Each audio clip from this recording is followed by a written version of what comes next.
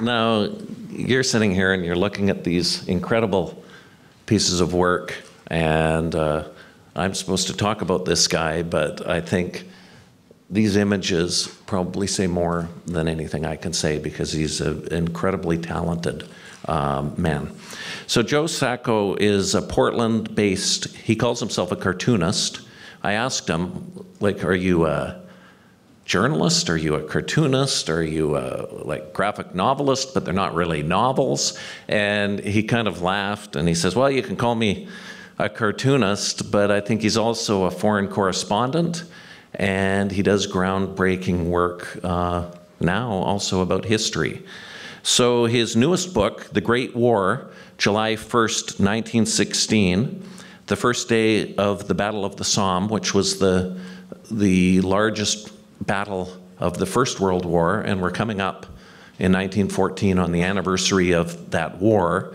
Um, uh, so it'll be interesting to hear what he has to say. You can see some of the images have been flashed up there. He's best known perhaps for his books on Palestine, including Palestine, a Nation Occupied, Palestine in the Gaza Strip.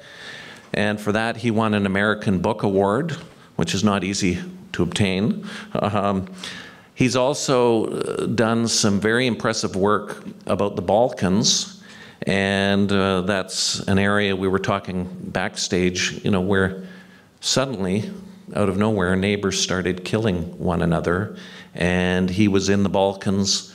Uh, that's where he met Chris Hedges, with whom he's also written a book about um, uh, kind of inequality in America. So you can see this man is touched on many different themes in his working life. And his book uh, was Gorazde, The War in Eastern Bosnia. Um, he's a very humble man.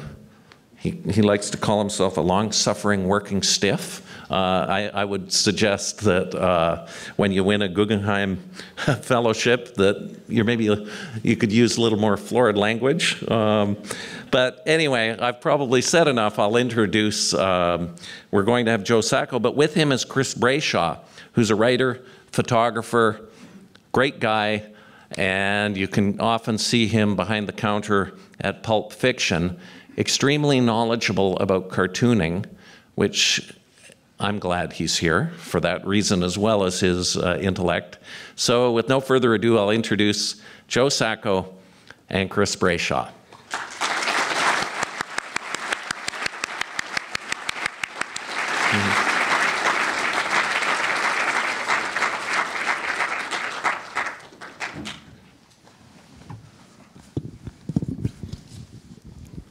Okay, so we'll just take turns asking questions and chatting with Joe, and then we'll offer some opportunity for, for people in the audience to ask questions. I think I'll start, Joe, by asking you know, you've done a lot of contemporary uh, reporting and with your cartooning. I'm curious why you decided to look at the First World War. Okay, uh, thanks for uh, coming out and uh, for the generous introduction and all that. Thank you for being here. Um, it wasn't really my idea. Uh, what happened is uh, a guy named Matt Weiland, who I was living with uh, in the 1990s in New York City, um, when we were living together, um, it was some drunken night. We were playing darts, and he was interested in the First World War, and he knew I was and he said, "Wouldn't it be great if you drew a panorama of the of the Western Front during the war?" And his model for it was uh, something by a guy named Matteo uh, Pericoli called Manhattan Unfurled, which is like an accordion fold out of the skyline of Manhattan. It's an amazing book. But you know, I sort of said, sure, that's a great idea. And then I got on, got on, got on with my life. And about 15 years later, he called up. Now he's he was an editor at W.W. Norton, and he said, "Remember that idea we talked about? You you drawing the First World War?" And I said, "Yeah. What about it?" And he said, "Do you want to do that?" And uh, my first reaction was no, uh, because I had other plans. But I thought about it, and the truth is, I've spent um, a lot of time thinking about the First World War. I've been, um, you know, I grew up in Australia, so another Commonwealth country, and there, Anzac Day, the day that the Australians, New Zealanders, some French and British troops also landed at Gallipoli, really figures into the national consciousness. Uh, so I grew up with all the commemorations of that. And I, was, I used to read about it when I was a boy. And I was kind of fascinated in that way that boys are by things like gas masks and, you know, biplanes. And, and when I began to read about it, I mean, it was, it kind of, it was attractive because it was weird, but it was also repellent.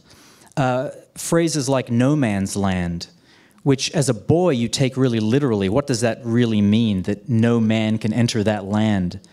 Uh, and so over the years, I found myself reading more about it. And when I was in my late 20s, I actually visited the Somme battlefield and uh, Flanders battlefields and just walked among the graves for about four or five days, just reading, reading headstones. Uh, so it's sort of, it's been present in my life. And finally I thought, okay, here's this offer to do this. Maybe I should redeem that boy with those weird interests, and um, it's got sort of a penance. I decided to draw it. Okay. The panorama is not a super modern form. It's very different from the montage or collage effects that uh, you use in the course of producing, a, say, a graphic novel. Can you talk a little bit about how you actually went about structuring the panorama and particularly what kind of research that might have involved? The First World War is distant to us in a way that, say, like, you know, present day Egypt or Eastern Europe isn't, just for, you know, simple things like visual reference. Well, what I did is uh, um, there were a few things I did. You know, I looked at my books and I saw the photographs I had, and I, I knew that wasn't enough. So I went to London. I went to the Imperial War Museum and spent some time in their photo archive just going through and finding photographs of details.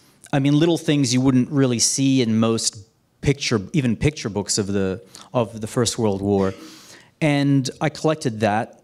Uh, I sat with a uh, World War I historian named Julian Putkowski, just to go over all those things I didn't understand about the mechanics of going over the top, for example, and. Um, you know, there are no photographs really of battle itself from the First World War.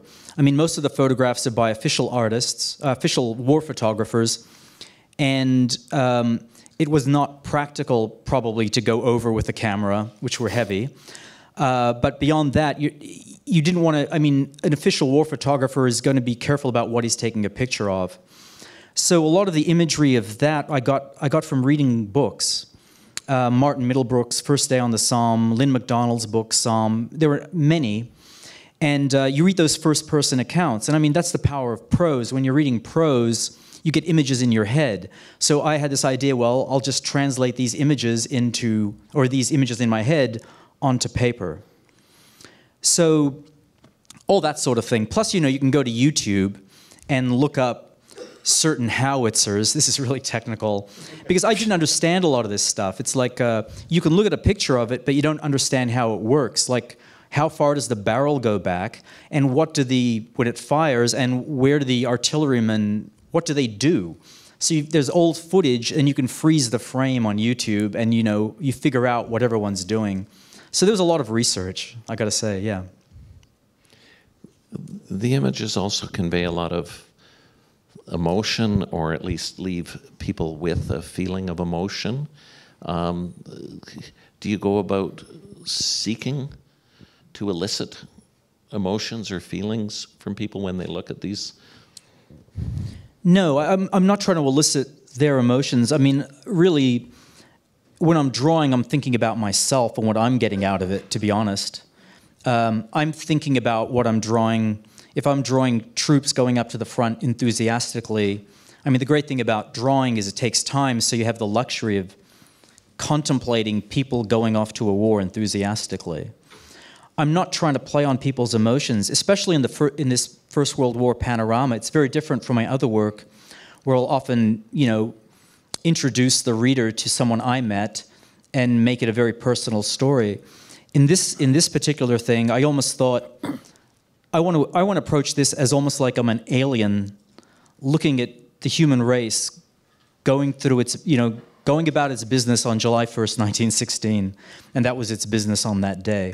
I mean, it's it's it's done at an angle where it's a bit, it's just a bit above the action.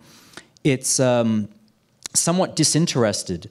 I'm not trying to make any comment. I, I, might have opinions, but I'm not trying to make any commentary about the bundle, the bungling of the high command, the bravery of the soldiers, nothing like that. It's as if you're an alien sort of looking at what's going on. That's how I approached it. One characteristic both of the panorama and your work in general is this this I guess I call it like a sense of teeming aliveness, where it's often a very kind of deep focus, like the world seems to extend way far back, and characters who are like maybe peripheral to the main action that's being depicted are just as important. That seems to me a quality that lends itself to rereading your work. There's always like new details emerging from the, the largest panoramas, but it's also something I associate with a style of cartooning pioneered by, say, somebody like uh, Harvey Kurtzman and Will Elder on Mad Magazine, where there's millions of little in jokes and millions of complicated little things buried in the frame that are designed not to be picked up on a like on a first reading, but only on a second or a third or a tenth. Do you think about kind of embedding those layers of meaning in the work as as you work, and and if so, was Elder and Kurtzman's work some sort of influence on you? Well, it really was. I mean, uh, not so much Kurtzman as Elder, just his drawing style. If you're not familiar with Will Elder, uh, he was a before Mad Magazine. There was Mad Comics, and um, what was really he he did outrageously funny drawings and there was a script where something was going on in the foreground, but usually it was sort of subverted by what was going on in the background, where there were all these little jokes. And the, the foreground almost didn't matter as much as the mayhem in the background. I mean, you know, uh, even the main characters would be, their hats would be changing from panel to panel. All kinds of things were going on, and I was really influenced by that. And my first comics were funny, or I thought they were funny, and I was really influenced by Will Elder. So uh, that you, you really picked up on something. But the idea of detail, um, that's where I sort of got it from, was from Elder. And that detail, you know, over the years translated in my work to journalistic detail. And the knowledge that whatever's going on in the foreground, you can use the background to get a lot of information across. And the thing about comics is, with repeated panels, you can, the background, even if it remains the same, um, it, it's sort of something will carry over, background information carries over. For example, if you're in a Palestinian refugee camp back in the 1990s, there was a lot of graffiti, and the Israeli soldiers would make the Palestinians paint over the graffiti. So there'd be um, obscured graffiti all over the walls. So if I'm having a conversation in, in one of the comics with someone and we're walking down the street, in the background you're seeing that all the time. So it's one of those characteristics that just stays with the reader the whole time and really sinks in. And that's where you know I, I, credit Elder, I think, to that sort of for that sort of thing. And then just the busy the busyness, yeah. I mean, with that World War One panorama, I, I, also thought of uh, medieval uh, artwork. Also, it's a big influence. And I sort of gave my myself the freedom to think in terms of how artists in the Middle Ages did, where perspective didn't matter as much you know, things were compressed. An inch could mean a mile. I didn't draw the thing to scale, and it was liberating, and it just gave it this claustrophobic feeling that I think is probably more true to the reality. What, what attracted you to going to the Balkans? Sort of a compulsion. Um, I was really uh, upset by what was going on there. Um, you know, maybe it sounds trite, but that whole phrase, never again, that, that had resonated with me. And it's not that things weren't going on around the world, but, you know, I was born in Europe, so that, that it was going on in Europe um, had an effect on me. Um, and at some point, I thought, I just have to go and see this for myself. And um, once I make that decision in my head, I just have to go. I mean, I know that's where I begin, the wheels begin to sort of um, turn and I know that if I don't do that, I'd, I would really regret it. And why Gorazde? Well, Gorazde was a Gorazde was a place that um, you know I went to Sarajevo at first, and Sarajevo was a little frustrating. I mean, there were some interesting stories there, but by the time I got there, which was late 1995, toward the end of the war, people were really fed up with foreign correspondence. I mean, they were relatively kind to me because I was a cartoonist, and they sort of said, "Oh, he's a cartoonist. You're okay." But people had told their stories and were or were fed up with the foreign presence. Uh, Gorazd, on the other hand, when I when I got to Bosnia, was still under siege. It was surrounded by the Bosnian Serbs, heavily shelled, a lot of deprivation, and while I was there, it opened up in the sense that UN convoys could get in. It didn't mean that people could get out, but I had managed to get a press card, so by virtue of the this little blue card, I could get on a convoy and go. And at first I thought I'll just, every, every journalist was going to Gorazd because it had just opened up and they were staying for the afternoon. And I sort of didn't want to be part of that pack. So about two or three weeks later, I went just to have a look. And I just fell in love with the place. I mean, you'd be walking down the street, and this is a place that hadn't seen foreigners. Um, people would be inviting you into their homes. And for the first time, they got sugar on the convoys, so they were making cakes and, you know, come in, try my cake, you know, was, and, and they were telling their stories. And it was just, um, it was kind of a beautiful moment in a way, and I just, I was just captivated by it. And it was clear to me that this is a, a place that hasn't told its story yet. So I thought this is a good place to put down the anchor. Tell me a little bit about the tell us a little bit about the, the work process that gets from an individual narrating their story, individual, therefore deeply subjective to you, an outsider, both historically and culturally. How do you take how do you take that story and change it in in in such a way that it opens up onto like broader narratives beyond like you know whatever the individual's experience is? Well, often um, you know you listen to stories and you like when I was in Gorazde, for example, you, you talk to one, two, three people, and you begin to get an idea of what happened in the town. And then you begin to fill the details in, and you realize that certain people's stories can fill in for the larger story in a way. Uh, I met a guy named Edin, I mean, almost right away, and he had sort of been in Gorazde at the Central Times. He'd been involved in the fighting uh, he had been he had gone over the mountains like many had to reach a point where food was being distributed. They had to go through enemy lines in the snow in the winter, and a lot of people died on these trips. He um, had gone to um, collect food from parachute drops when uh, NATO was dropping food onto the enclave. So through him, I could tell the bigger picture. But I was always interested in personalizing it because you can tell the story of Gorazd without talking about individuals. But that's not how I want to hear a story. So I expect that most people want to hear a story through the eyes of those who lived it. And that's kind of how I approach it. Is who can sort of fill in parts of a story. Sometimes he couldn't fill in the whole story. Then you, you meet someone else who can tell you another aspect of that story. Now, are there points at which those various subjective stories become internally inconsistent or contradict one another? And at that point, I mean, a journalist would fact check a story. You know, you, you work as a journalist, but there is a subjective element in the work as well. Do you have to confront people on the on the veracity of the stories they're relating to you? If so, does that cause you conflict in the community? Well, you have to, you know, you have to make sure that um, the story is true by asking other people, and you know, usually, what I've found is people have the general, generally the same story. I did a book called Footnotes in Gaza, um, where uh, people told me the story of uh, certain incidents that happened in 1956.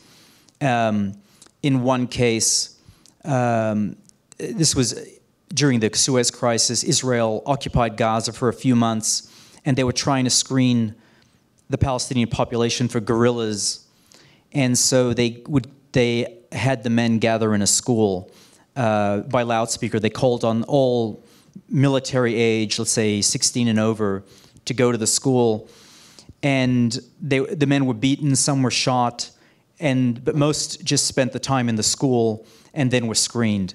So I asked many old, older men, now in their late 60s, 70s, and 80s, what had happened on that day.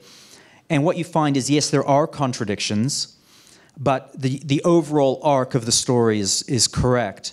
All of them, almost all of them, heard the loudspeakers. They all remember running to the school.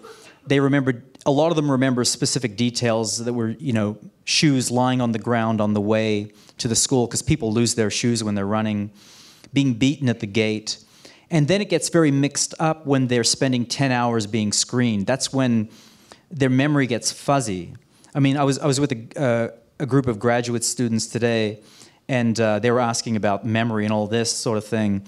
And what was interesting is everyone remembers a very sharp thing, like being beaten over the head as they were entering the school, but not everyone can remember the details of 10 hours waiting to be screened, what happened first in what order. And I was confronted with all these contradictions about what happened when they were in the school, and I decided to basically throw that back at the reader.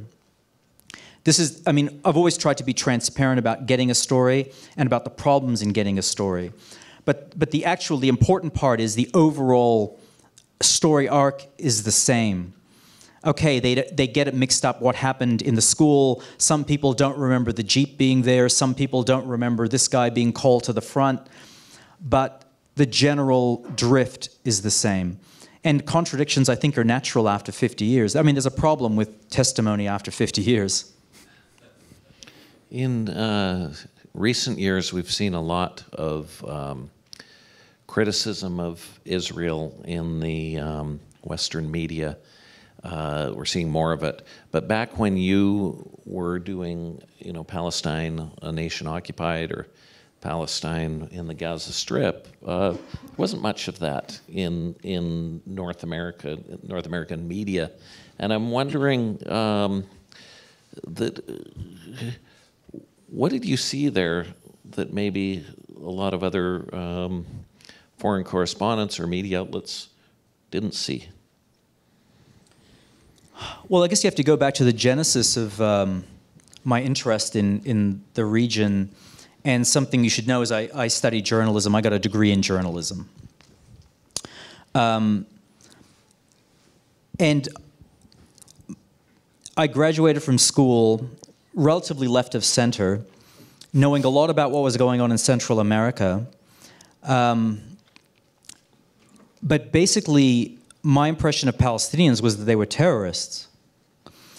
And I realized, uh, my mind began to change, or let, us say I began to question that um, in 1982 and 1981 when um, there were air attacks on Beirut um, by the Israelis, and then the Israel invaded Lebanon, and there was the massacre at Sabra and Shatila in Beirut, where uh, Christian allies of the Israelis went in and killed, I mean, hundreds to up to a you know, a couple of thousand, it's, the, the numbers aren't exactly clear, Palestinians.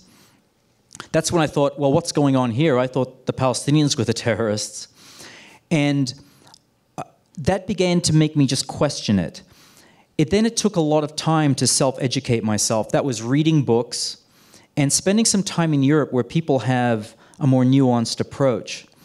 And at some point, I began to realize that journalism and the way I'd studied journalism, which was this American ideal of objective journalism, had really given me a um,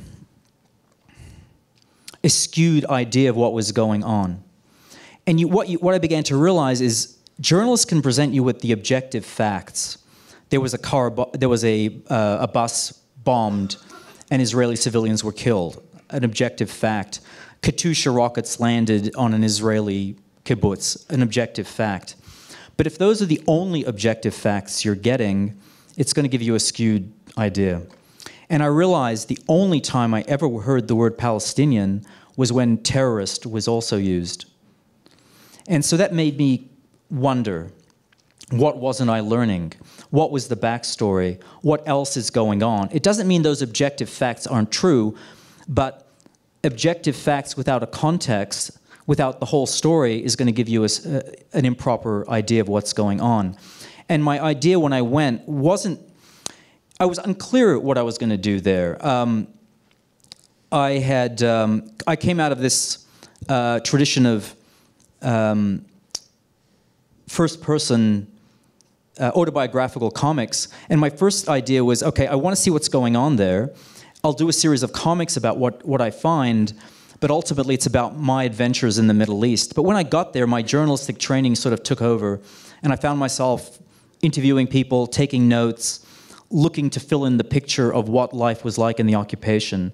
And so then I realized what I'm really trying to do is just, just get these voices across, whether um, they were angry voices, um, intelligent voices, or not.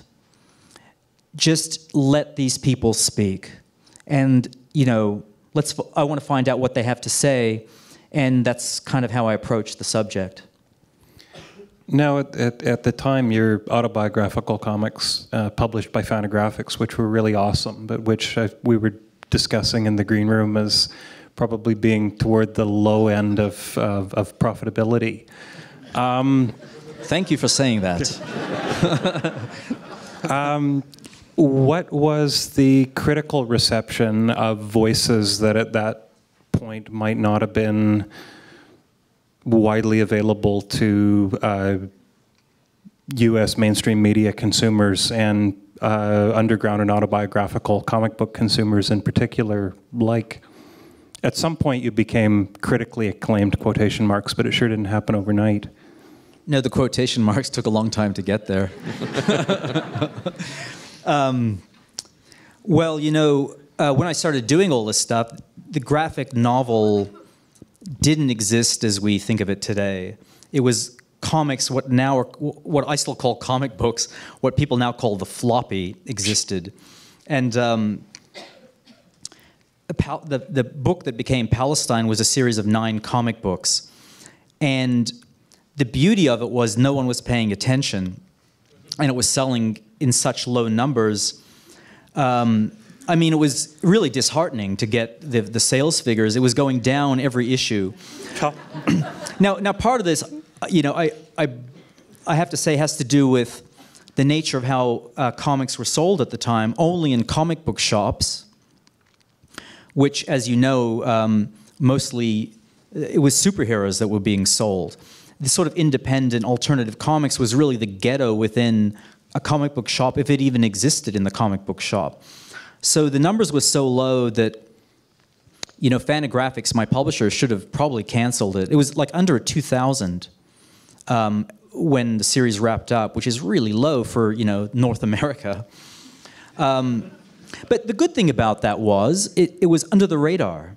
And when you're under the radar, you just do what you want because no one's paying attention. And so you can establish your voice without, I mean, I didn't have some large contingent of uh, politically minded uh, people who were just yelling at me because they thought I was an anti Semite or I'm against Israel or something like that. I could sort of find my voice without a lot of noise in my head. And I'm glad for that because I was younger then, and you never know how you're going to respond to that sort of thing.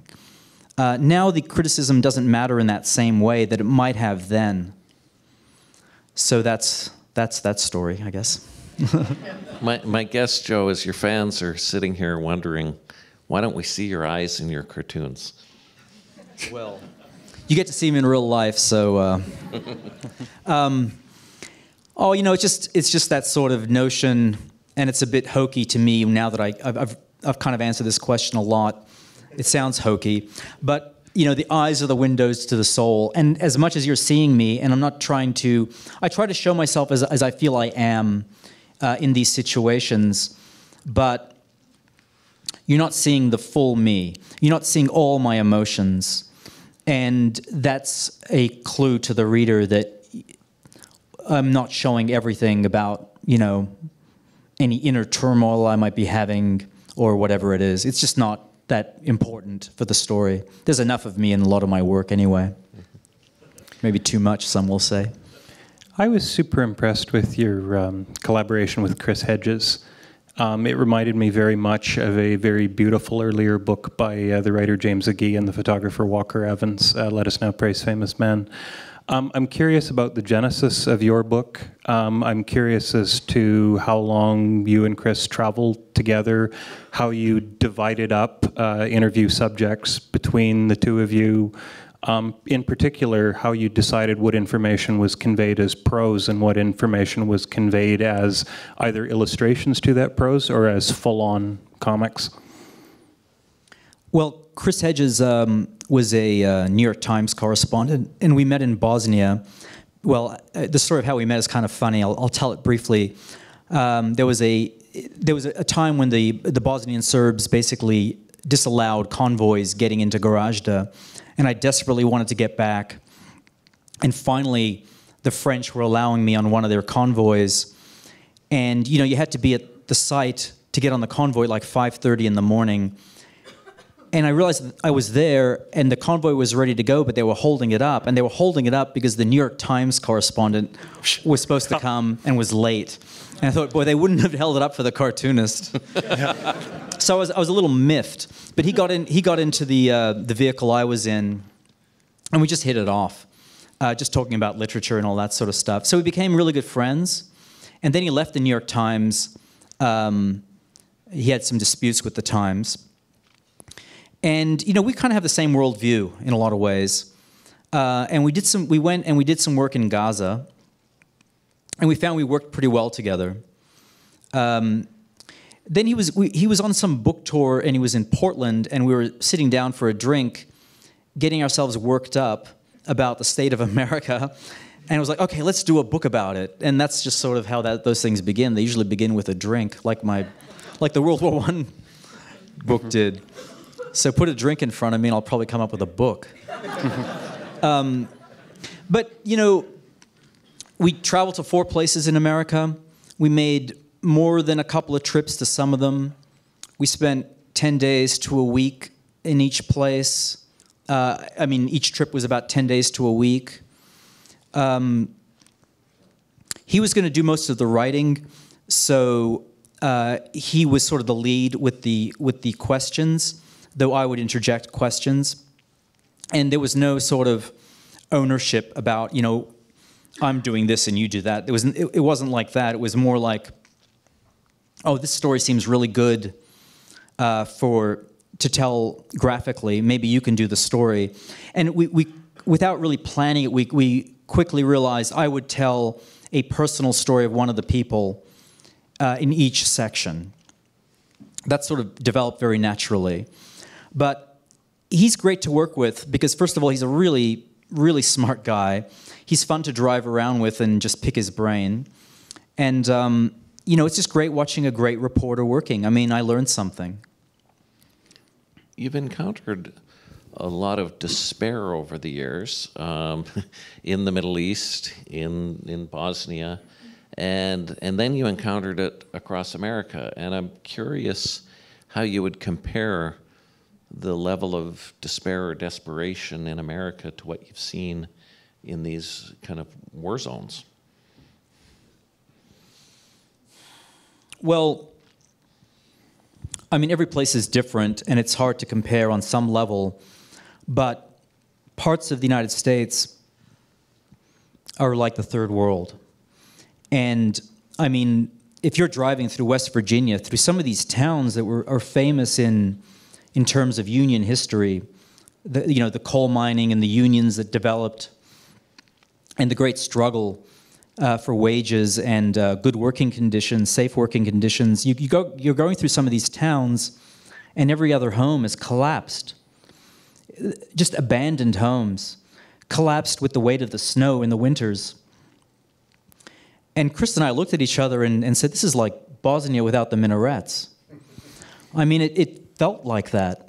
And if you're in a place like Camden, New Jersey, where there are so many abandoned homes, um, you know, a, a, place that used to have shipyards, Campbell's Soup, RCA, and now you know one of the most crime-ridden places in the United States. In- incredible poverty level. It's very disheartening, and there's a lot of despair, and in some cases a lot of resignation. And what sort of struck me the most is that people seem to self-medicate. I mean, you realize alcohol, painkillers, and drugs are what gets people through, or it's religion. I mean, I'm not one of those people who, I'm not, I'm an atheist, but um, I don't, I don't, people who believe, it, it doesn't bother me if, if, if that is what you need and that's what gives you strength, because a lot of the people who are religious seem to have a certain strength and conviction. And um, yeah, but I mean, it, it's very disheartening. I mean, living in Portland, Oregon, uh, you're in a bubble. Living on the coasts, you're in a bubble. Probably living in Vancouver, you're in a bubble. And, and actually, there are spots within the city that are not in a bubble. I mean, once you're in the street, you see Like people are in the away street. from here. What's that? Like a block away from here. Yeah, exactly. So I was sort of, I was shocked. I've spent, you know, most of my work has been overseas. And I've, I've done work in India, and I've seen, you know, this sort of poverty, and not just poverty, but hunger, that, you know, you don't really find, you, you, you, feel, you find malnutrition in America, but not that's that sort of hunger. But still, it's, um, I mean, it's, fr- frankly, it's shameful. NATO isn't running sugar into Camden, New Jersey, or the mountains of West Virginia. How do you gain the trust of a community that's basically had, like, you know, the rest of the world's turned its back on it in order to start to achieve the level of, like, closeness to your subjects that you need in order that people open up and start talking to you? Do you prepare? Do you. You mean in general? Yeah, before you were before you were. I assume you just don't like you know roll up in the car and you know bound out with a tape recorder and a notebook. Actually, sometimes you do. Um, I mean, you prepare, you read as much as you can, but you realize that reading um, brings you up to about 10% of what you need. But that 10% is crucial. You need to know, uh, you need to have a certain base level. But for example, when I first went to the uh, Palestine, um, I sort of knew the basic, basically what was going on between the Israelis and the Palestinians. What I didn't understand what was going on between the Palestinians. I mean, I would read about that, but sort of skim over it. But when you get there, you realize, oh, I got, I have to learn about the Popular Front and, you know, the DLP or whatever it is, and the PLO. I, I, I mean, I knew, I knew the PLO, of course, and I knew about that organization, but the other faction, the factions um, within it. I had to begin to understand what they were about. So you learn a lot. Now, there, I sort of practiced what I called random journalism, where I literally would get into a, a uh, shared taxi that was going to a place I'd never been before. And you wait for the taxi to fill up, and then it leaves Jerusalem to wherever it's going, you know, um, Nablus or Jenin or someplace. And I would get out in uh, the square, you know, where the taxi stops, and I could just basically trust that within minutes someone would come up to me and say, "What are you doing here?" and I would just rely on that because I'd say, "I'm here to see how you're living." And at that time, it was very possible for someone just to say, and normally it did happen, "Come with me, I'll show you something. You want to see how we live? Let me let me take you somewhere." So I really relied, and if you read Palestine, it's very episodic. Uh, uh, for that reason. You know, things changed. By the time when I was reporting uh, the book Footnotes in Gaza, the Second Intifada, people were a little less trusting. So I approached it very differently. And I had to because I was going to spend time in places that I didn't know, uh, southern Gaza Strip. And um, what I did is I, I, through someone who knew someone, I met a guy who was trusted in the community. He was known, and also his family was respected because you have to sort of know how the what's considered um, appropriate, who's considered appropriate, that sort of thing. And he could speak relatively good English. And he was my guide. He became my guide. And basically, if if I was with him, everything was fine because he was trusted. He was completely trusted. So through him, you know, what happens is, you know, you go to, you go to going to Rafah. It's like the first question you ask is, okay, who's who should I see on the street that's actually in control? You don't really go to see the mayor. You might make a courtesy call, but it's like who's in who's really in charge. Mm-hmm. And then you just go and you have it's a social visit. You don't really know who it is in this room that is kind of the guy. But people come and go, they they meet you and you just let them know, you know, I'm here to do some research about this. And then they leave you alone. In fact, they start visiting you and talking to you. And then after a while, they befriend you. So, I mean, there are different ways of doing it, but that's the way I, I did it the most recently. Mm-hmm. And what are the biggest misconceptions about the Palestinians after all of your time spent with them, you say in North America? What are the biggest misconceptions? Boy, I mean, I just say they're complicated people, like every, you know, like we all are. It's, I, what I learned is, you know, they're not terrorist with a capital T, and they're not victim with a capital V. I mean, um, they span a lot of. There, there are a lot of things going on in the community and with the people, so there's there's no way to generalize, really. I mean, that's that seems relatively obvious, but that I, that's basically it. I the thing I tried to show, I tried to be honest about what I was hearing, because sometimes I might be sympathetic to the Palestinian cause, but I'm not an activist, so I'm not thinking in terms of, oh, I, am going to obscure this because it, it'll make them look bad. To me, I mean, I'm trying to be honest, as honest as possible, and the idea is show, show people in any situation, wart, warts and all, that, I mean, they're human, after all. They're not angels.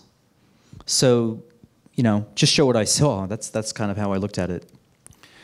What criteria do you use to judge the success or failure of your own work? I'm thinking of two examples in particular. Uh, one, there's a there's a short piece in uh, in the journalism collection about being at the uh, International War uh, Criminal Tribunals in The Hague and saying, well, you're really harsh in your notes on that piece, saying, "Well, that the piece didn't work because I wanted to end with uh, you know Louise Arbour and another jurist.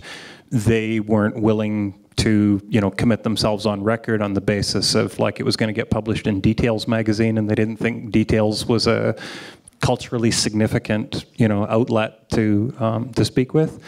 There's another piece in the same collection where you basically get chased out of a small village in India and that journalistic assignment kind of ends in failure too except it except you're being chased out seems to kind of actually show how that your your failure shows how that place really is in I think a very successful and interesting way. Yeah, well sometimes you got to use your failure. I mean, normally what I like to do is go to one place and stay for as long as possible. And in this case it was a small hamlet in a village in um, Uttar Pradesh. And um, I was talking to um, Dalits. I was talking to mus uh, Musahars, which are the very in the hierarchy of Dalits, uh, the, the, the so-called untouchables. They're they're considered low even among other untouchables. So um, I was spending time with them, but people of a higher caste uh, didn't like that. They didn't. They don't like people to know what's actually going on, the level of poverty. Um, so yeah, we were chased out after maybe two or three days visit, uh, visit, and it was clear that if we insisted, we're just going to we were going to cause trouble for the people we were talking to. You don't want people to be in danger because we want to get a story. But we basically just decided. I, I was uh, with uh, a guide that, okay, let's just go to a number of villages and see what happens. And so we just began hitting a number of villages. It, it's not the way I normally do a story, but it, it seemed necessary at that moment. With the War Crimes Tribunal story, yeah, I was very disappointed because um, I'd done the work like any other journalist there, but um, the chief prosecutor and the president of the tribunal, uh, I, I had scheduled interviews with them. And then I was called into a conference room where they were both sitting and they wanted to pore over what Details was like, Details, the magazine, like showing me pictures of, you know, semi-clad women. And I, you know, I was thinking, well, Italian journalists are here. Have you ever seen an Italian magazine?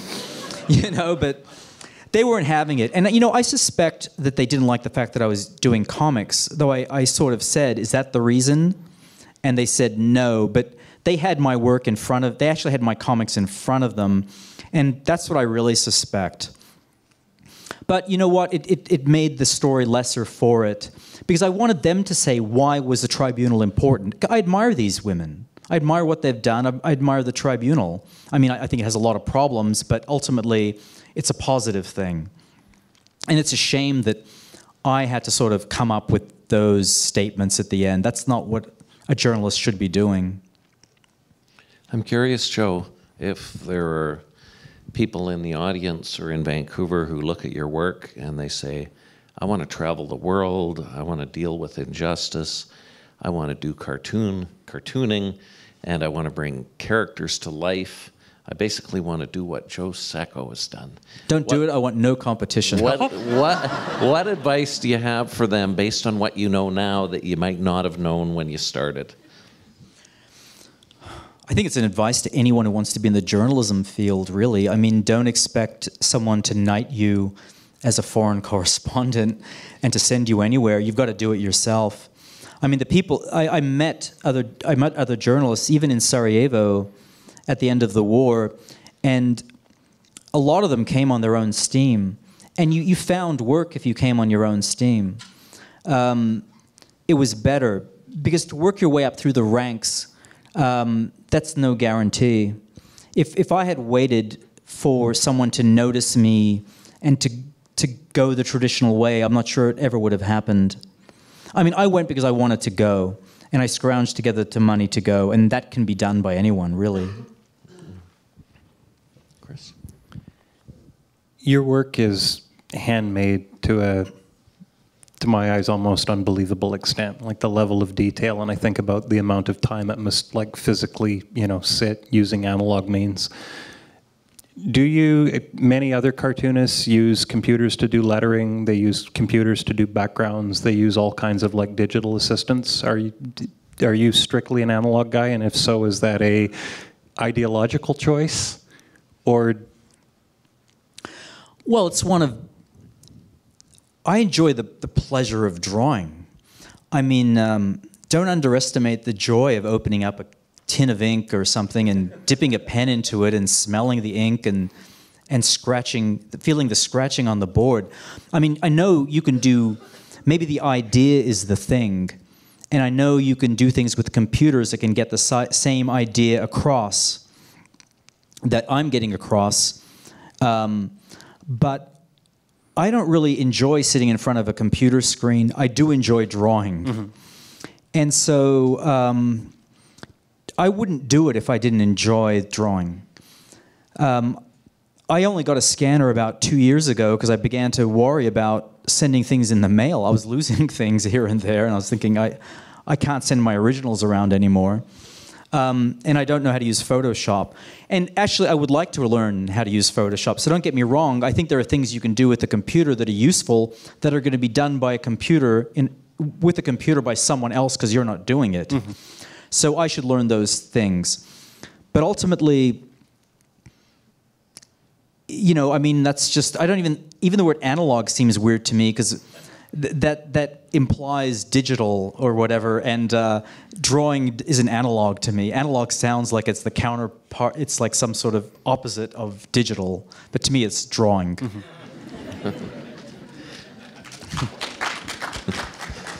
I'm curious, Joe. After all you've done, uh, you still have your passion for what you're doing.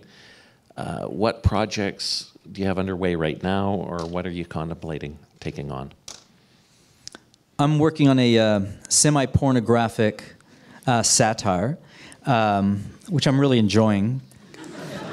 Uh, then there's some uh, long long-term projects. Uh, the the main one is um, I'm, I'm doing a project about ancient Mesopotamia because I've begun I, be, I became interested in um, social inequality.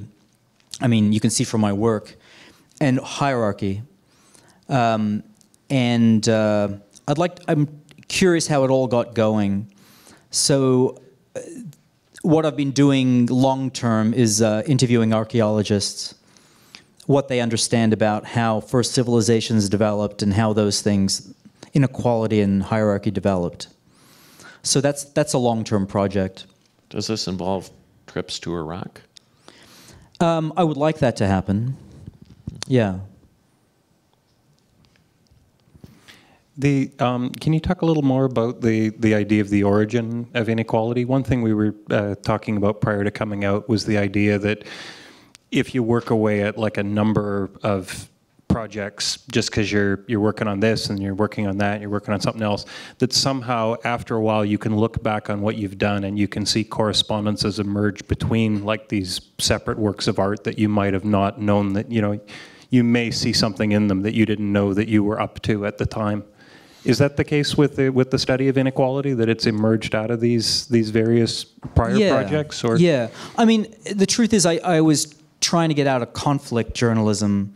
I just thought i was sort of fed up drawing certain things.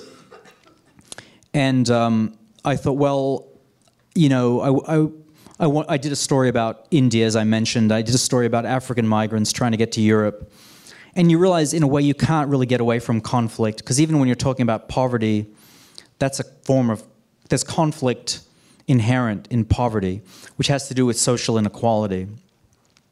So you begin to ask yourself some questions and sometimes i mean journalism is useful for pointing things out. It's not it doesn't always go to the answers of why things develop the way they develop.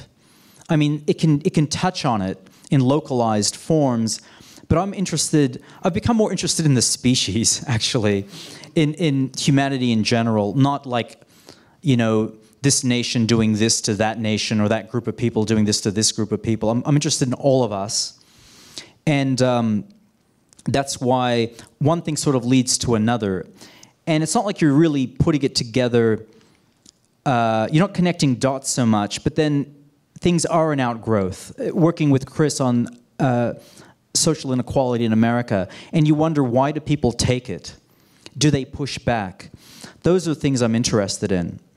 I mean, and the thing is, you know, sometimes I do try to get away from even the notion of conflict. I mean, even the genesis of the uh, Mesopotamia book was being asked. You know, I was I was asked, you know, go to the Louvre and do any do something about anything in the Louvre, and I thought, well, uh, what I normally skip over is the ancient Near Eastern stuff because nothing nothing deadens the pulse more than clay pots. And I thought it, it would be it would be interesting to actually do a book about that whole thing.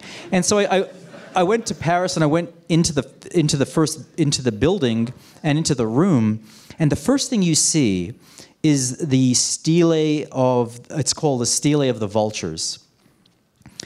And I didn't really know it, so I'm seeing it for the first time, and it shows a um, city leader in a chariot with a spear and an army uh, marching. And this is from like 2300 BC. It's considered the first public uh, monument ever produced that it's, it has a public function. Um, it's like a, as far as like a government document, mm-hmm. basically, because it has script and writing.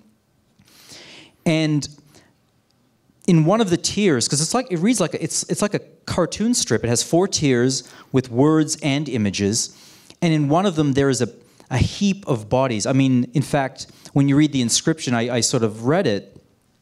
It's called a tell. It's it's a mount. It's a mountain of bodies that this king is dreaming, and later he manifests in battle. Because there's another mound then, and I'm thinking you can't get away from it. I mean, I, I came to to write about first civilization on some level, but there it is again.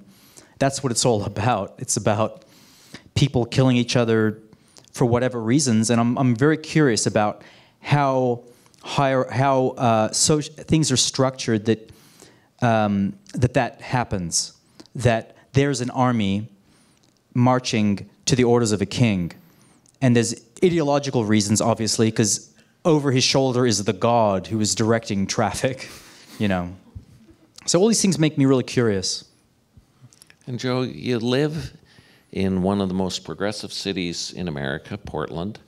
Great transit system, Powell's books, you know. Free range hens. Yeah, and and I'm I'm curious what uh, your environment and living in Portland, how that, and even if it does, how it might manifest itself in the type of work you do, or even in your attitudes towards the world.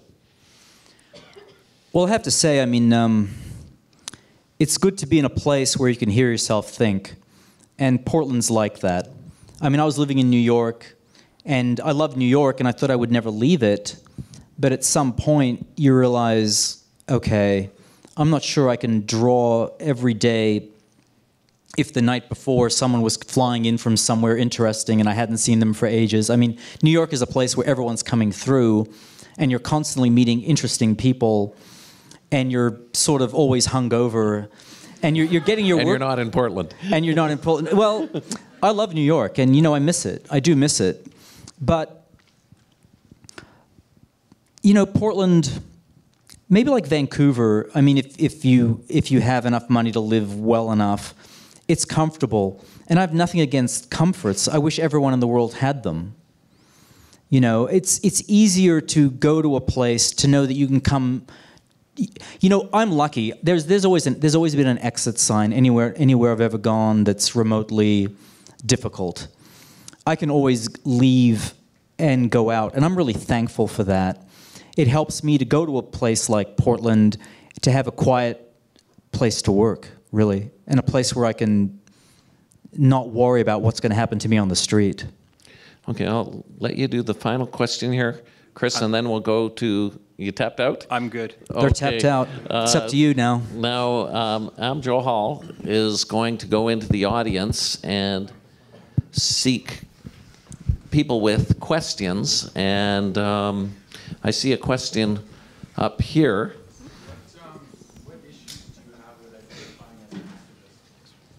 Can you raise your hand? You said, What issues do you, issues do you have identifying as an activist? yeah, what issues do you have identifying as an activist? Well, because I mean, partly it's that sort of journalistic training where I, I'm trying to, I'm trying to be honest about my work. I definitely have sympathies, and I don't consider myself uh, from the school of the so-called objective journalism, uh, which I question the, the notion of objectivity. I mean, I think we all come from a, a place, we all come in with prejudices, and you have to sort of recognize that. I mean, Edward R. Murrow said that. You just have to recognize that you have prejudices. Um, I'm all for activism, and I, I've talked, activists help me out in my work. I mean, sometimes they're the people who introduce you to people, but it's that, that thing where, okay, you're, you're, you're there because you, you think these, a, a, a, story should be told, but sometimes you find something that goes sort of against what you've already, what you've heard, and you have to be a journalist to me is going to be honest about what they're seeing. If you see something that might shoot the activist in you in the foot you still have to report it. That's that's the difference that's why i said i want to show people warts and all do, do you understand do you get what i'm saying you're not you're not satisfied and i have no problem i mean i have no problem with activism About like Palestinians just being a complex group of people, but there was something about the energy of being like, I, I'm not an activist, and you said it very quickly. I don't know, but Yeah, don't take that the wrong way. I mean, I because I do have a lot of respect for activism. In fact, there's that part of me that wants to be on the street, you know, completely. And I and I have a feeling my work might shift into activism at some point. Um, but when I'm doing journalism, I think of that in a different sort of way. Okay, now we have a question up on the right. Hi, um, I'm visiting from Australia, so Hi. um, I was just interested because I know you you were born in Australia or you grew up there.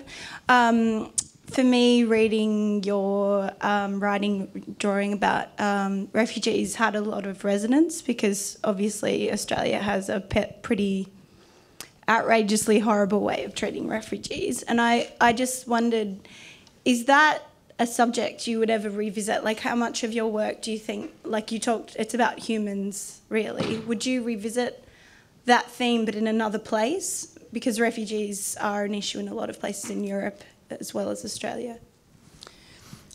Well, I, I don't know if you saw the piece I did about, because I'm from Malta originally, and I, I did a story about African migrants washing up on Malta and how they're treated in Malta, how the Maltese are reacting to them. I mean, I think it's a real important story because I, I think um, I think human migration is probably the story of this century because of climate change and resource scarcity and things like that. It's going to continue to be a big issue. Would I do it again? Would I do another story about that? I might. Um, the thing is, you have to sort of know yourself, and um, there's part of me that thinks there's a half life now that I've reached with certain kinds of stories. It's not that those each individual or each particular story isn't important because I think it is, but in some ways I'm, I feel like I'm not learning. There, there comes a point where you're not learning what you need to learn just to sustain your your your interest to go on. You've seen it before in a way, and then there are other questions you begin to think about, like with refugees, uh, you begin to think about the climate, like where does this all stem from? You know, I don't want to keep repeating myself in, in, as far as stories go. And the next question here. Um, my question is in regards to uh, the mindsets of uh, people you encounter in, um, you know, third world countries. Um, I would imagine that some people have been, well, they're in certain situations where um, they don't necessarily believe, uh, you know, that they, they draw towards populist ide- ideology, they draw towards, um, you know, uh, provincial thoughts, uh, prejudice, stereotypes. Um, and I'm curious as to uh, how you can see that happen in third world countries, and and how do, do you have any, any um, perception on, on how we can reconcile that in third world countries with, with the type of people who still support Rob Ford in Toronto, who lived in a, in a first world country? Just out of Do you know curiosity. who Rob Ford is? Sorry, I don't mean to throw the- it. everyone in the world Sorry. knows who Rob Cra- Ford is now. He's the crack cocaine guy, right? I'm not 100% sure I understand your question. Is it prejudice within third world communities themselves? Is, or No, it's, it's, it's just the tendency of, of, of people who have uh, live, live in places where education is perhaps not as available um, to gravitate towards uh, populist arguments, to um, have uh, you know occult personalities, or sorry, uh, per, I can't say it right, uh, cult of uh, gravitating towards certain leaders who use populist arguments. Um, and in my mind, sometimes you can say, gee, these people have been through war. They don't have, uh, maybe they don't have access to, like some of, maybe they're not, some of them are not literate. I, I don't mean to be um, dismissive of these people, but I'm just thinking, you know, you live well, in you a see that. I mean, world. y- y- you see that, but you also see it in the first world. I mean, ideology. Ideology is different in all places, but ideology seems to be effective in all places because you can also have. I know what you're saying. Um, you know, people who don't have much, who are promised something, uh, tend often tend to respond to that. I mean, I think that's also true. Um, it's also true in the.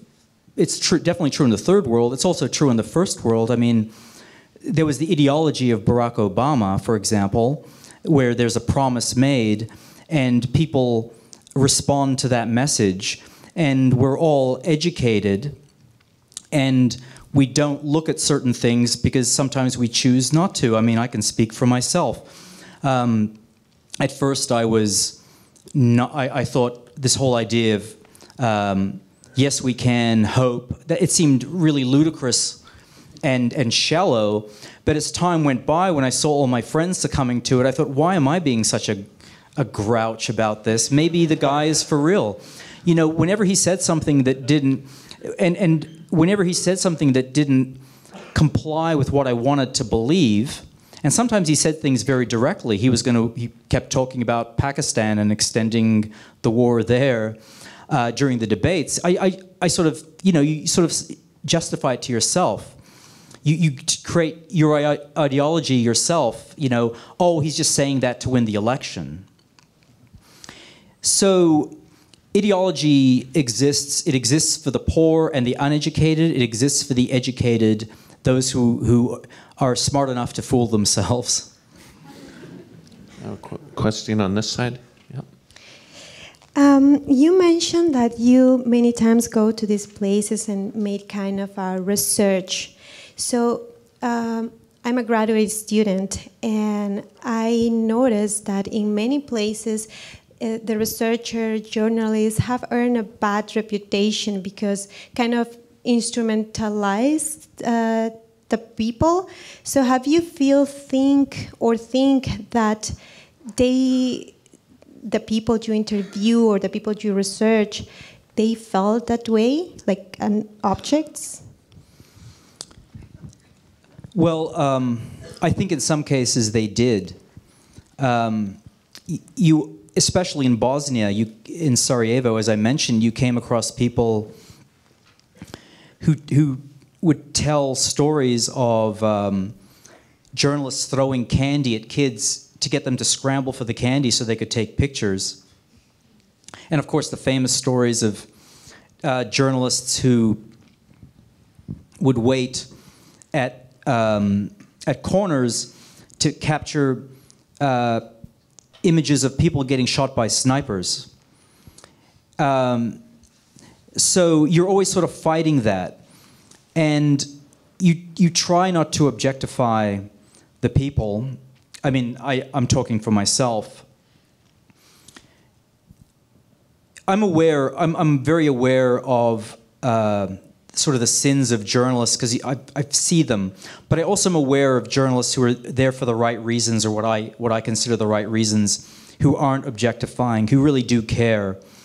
And even even saying that, you always come across people, even among Palestinians, who who just feel like you're there to make money, or you're there uh, to get. It's going to do. It's going to do nothing to help them, and the truth is, when people would say that to me, I never really knew how to answer that question. The direct question, "What are you going to do to help this situation?" to say, well, I'm going to write the story about this and it, people are going to read it, in the end, it, it, it used to feel sort of hollow in my own ears. And I've never been able to sort of, um, I've never really lost that, that sort of uncomfortable feeling myself. I personally don't feel like I'm there to objectify, but I often wonder what good I'm doing, you know.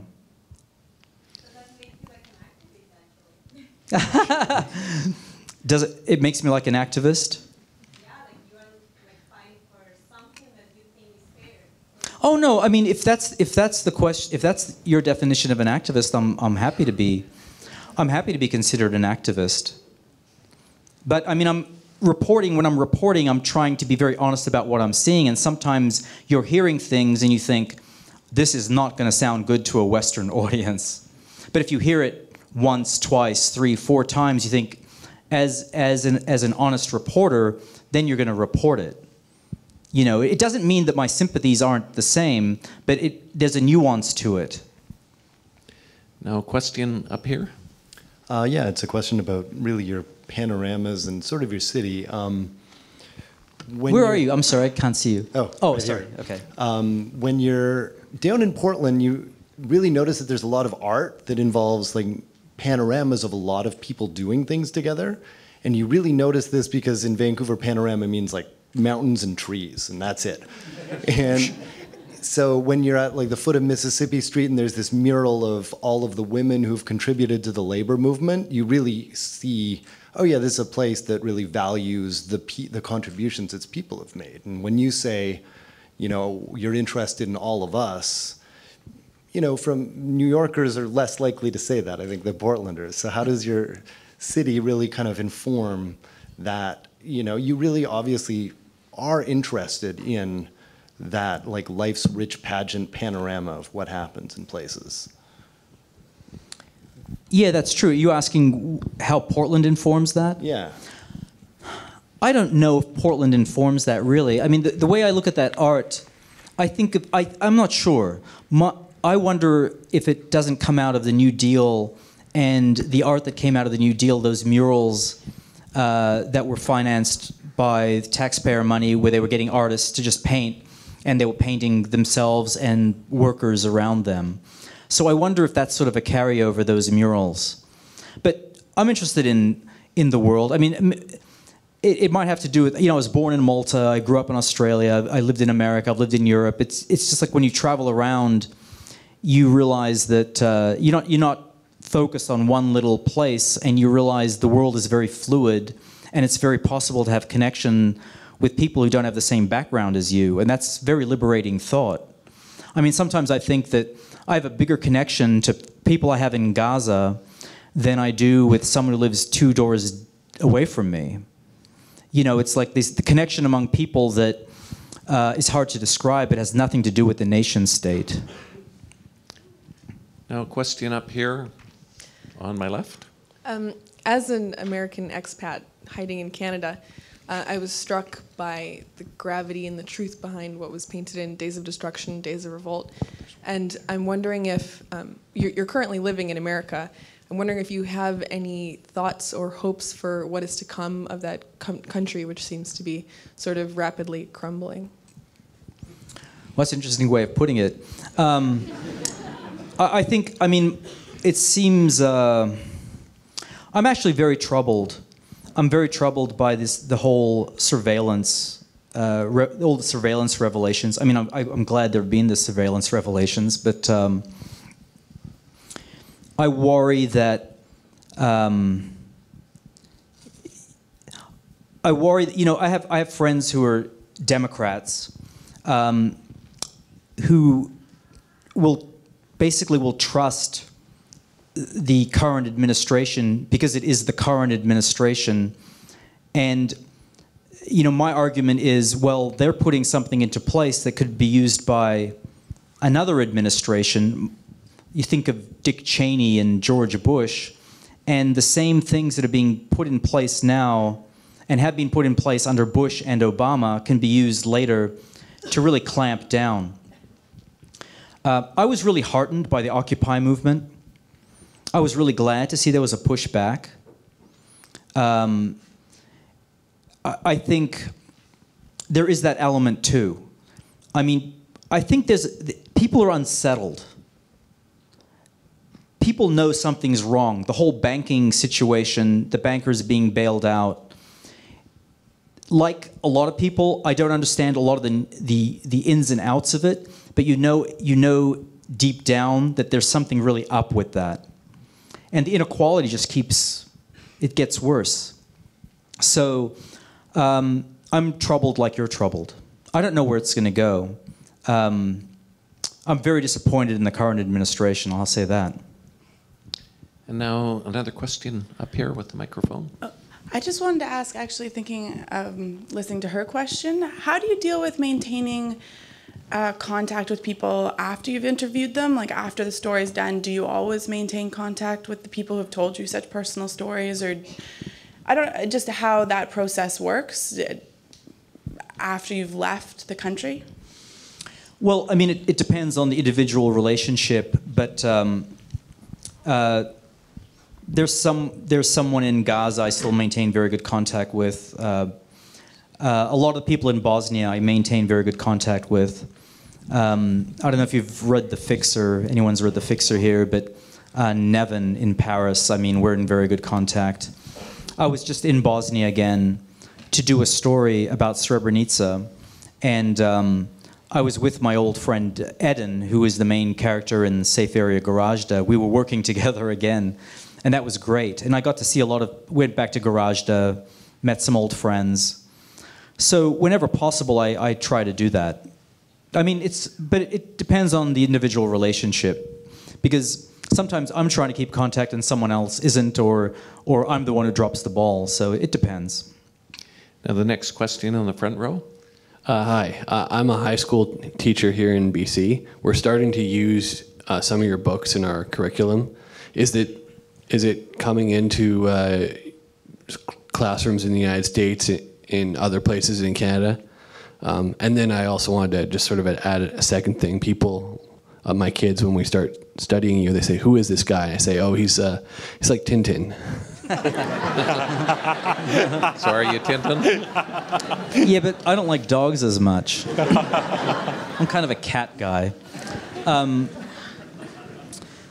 no, I mean uh, my books are used in uh, in schools, so that's.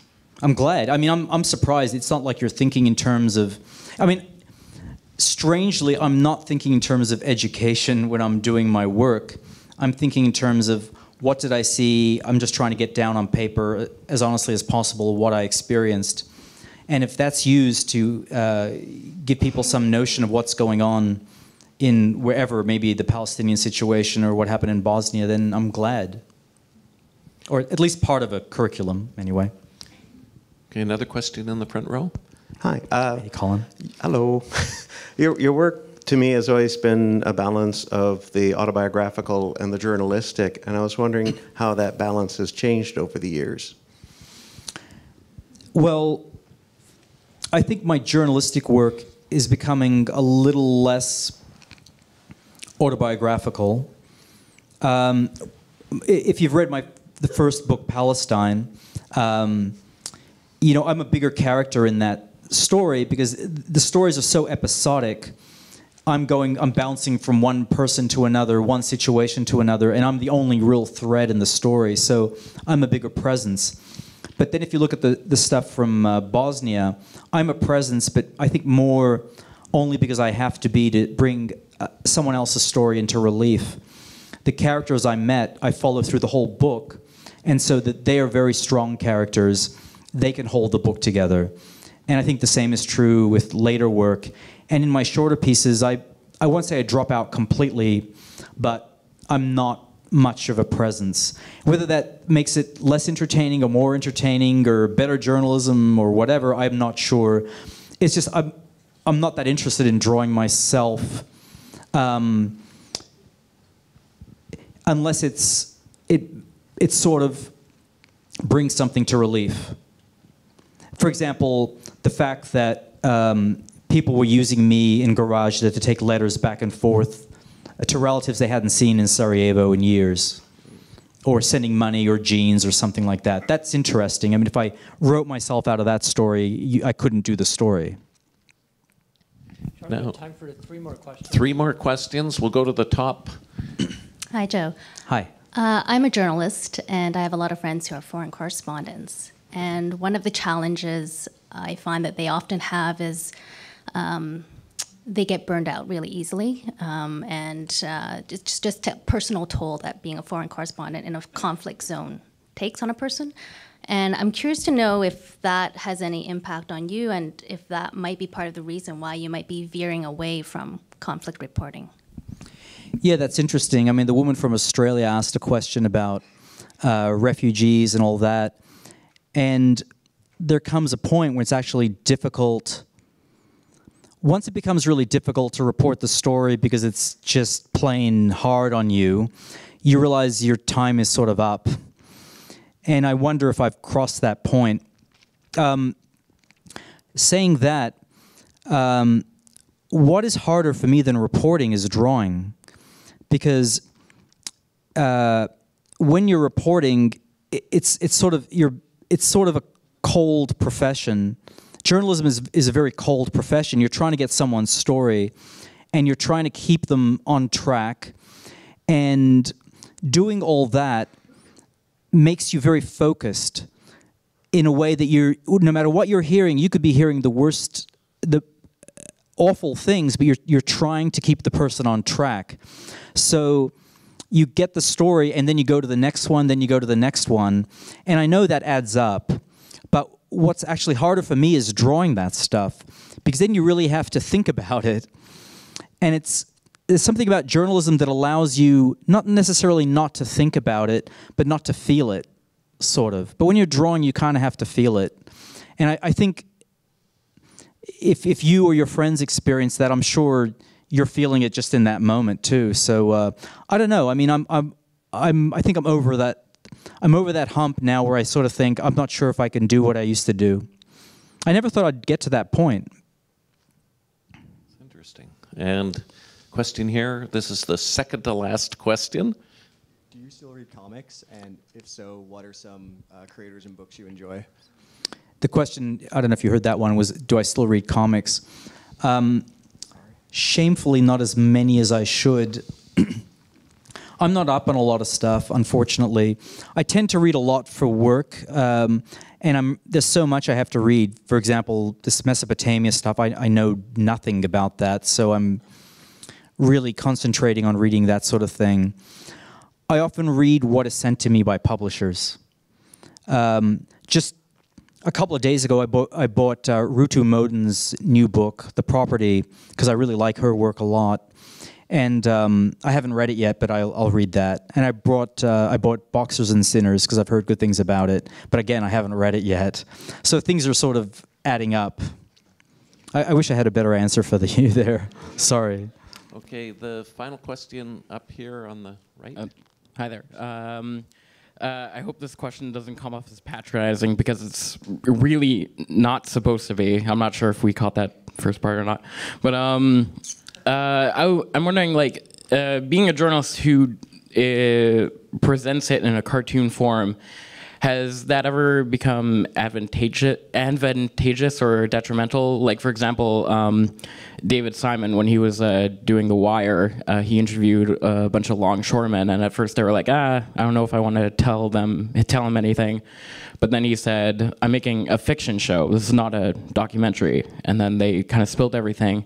Has a similar story come that way, where it's like, "Oh, I'm a cartoonist," and people like didn't take it seriously. You know what I? It, yeah.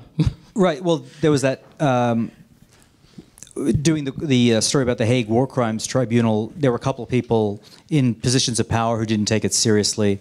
And the truth is, when I first started out, and I was unsure of what I was doing, um, I didn't really know what to say to people. So when I was talking to Palestinians, I would say, I'm working on a journalistic project. It was my way of sort of being a little fuzzy on what I was doing because I didn't really know what I was doing, frankly, and I thought they would laugh me out of the the camp or whatever, you know. But I sort of lost that uh, once I got I got a bit more sure of myself. Years later, when I was back in Gaza, I took I would take the book Palestine with me, and when I was interviewing older people, I would always give them a cop. Not I would I would pass them the copy of the book and say, have a look at that. That's what I do. And the reaction was always positive. And the reason I think that is, if I'd given them a book in English and they didn't read English, just prose, it would have mean, meant nothing to them. But the fact that there were pictures, I mean, all humans sort of can relate to images. They could open that up and they could see pictures I'd drawn years before about Jabalia refugee camp, and they could somehow recognize themselves in those drawings. So they, they got it right away. Uh, they were kind of, they understood what I was doing. Then when I was asking them very visual sorts of questions, those questions that a prose writer doesn't need to ask, but I need to because I'll have to be drawing a situation, they understood why. They understood why I was drawing a map and saying where were you sitting and where was the jeep and where was this and you know that sort of stuff that it would be hard to explain you were doing unless you actually showed them what you were doing. Well, that's wonderful. I'm just going to ask my co-host Chris Brayshaw if you have any closing remarks or anything you'd like no to add. Wisdom. Okay. Um, and I want to thank Chris for his contributions and his wonderful knowledge of cartooning and his books. And I recommend you go to Pulp Fiction, and you can see him behind the, the counter. And I want to thank Joe Sacco for his incredible work. And Thank you. Thank you.